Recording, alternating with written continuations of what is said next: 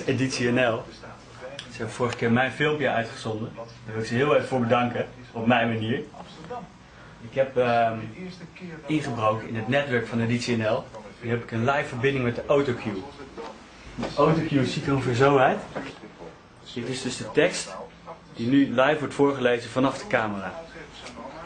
Daar kan ik natuurlijk wel het leukste doen. Live uitzending, kleine miljoen mensen die aan het kijken is. Hem nu iets sneller laten lopen.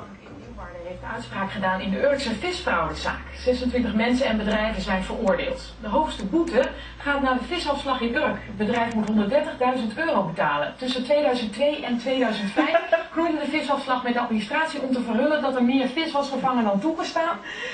De directeur van de afslag is veroordeeld tot een werkstraf van 150 uur.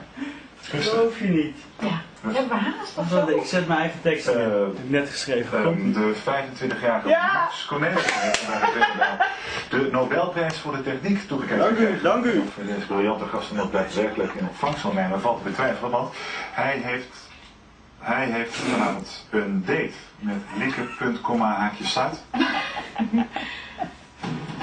Hier, hier, hier. Nu nemen ze elkaar in de maling. Mijn komt-ie. welgewaardeerde collega Jeroen hier naast me is een leuke dude. Maar zou je alsjeblieft... Een keer op tijd willen komen op kantoor. Kom op. Ja, sorry, ik heb dat niet bedacht. Dat staat daar. Jongens, kom op. Hij is gelukt. Even geen.